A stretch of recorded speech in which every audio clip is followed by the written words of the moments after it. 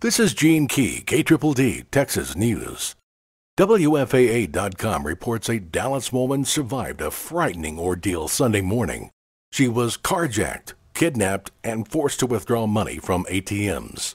The woman told police she was taken from the parking lot of her apartment complex on Vintage Point Drive in Lake Highlands around 12:30 a.m.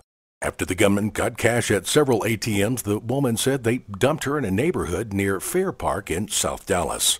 That's where Carlos Jimenez came to her aid. Jimenez didn't think twice about helping the woman who approached him in front of his home on Fitzhugh Avenue near Fair Park. She said the men drove her to multiple ATMs.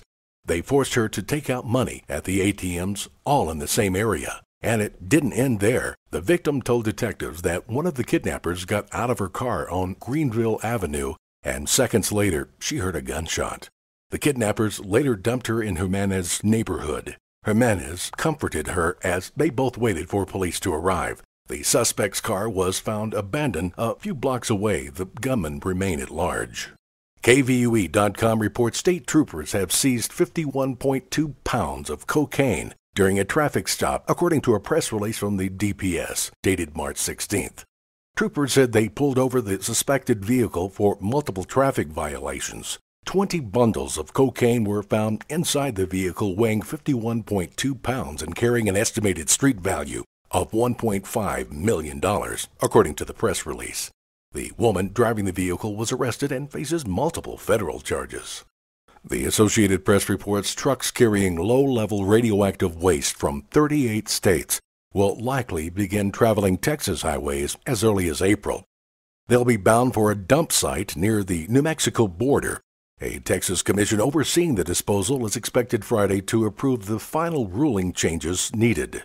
The waste burial will end a years long effort by waste control specialists to win permission from Texas officials to accept the waste at a 1,340 acre tract.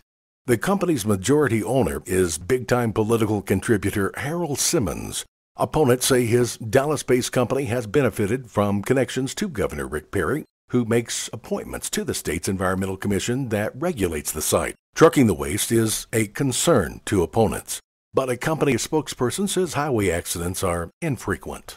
If you would like the latest Dumas, Panhandle, and Texas news on your mobile device, you can follow KDDD News on YouTube. Simply search KDDD or Gene Key on Facebook or Twitter. This is Gene Key, SkyServe News.